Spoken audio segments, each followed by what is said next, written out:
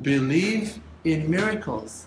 Believe that miracles can happen to you because of the unconditional love of the Father to His children, of the Holy Creator to His children, to us, to you, to you, to you, to you, to every one of us.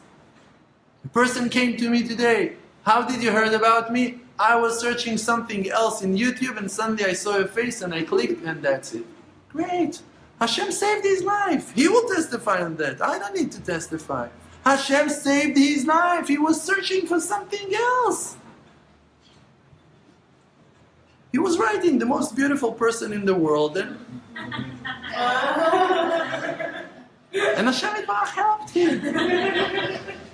You know which other pictures you can see if you search for that thing? Crazy people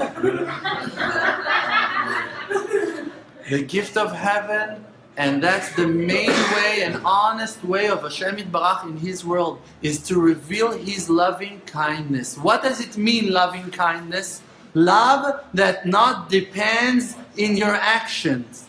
Love that not depends in who that you are. Love that depends only in the love of the Creator.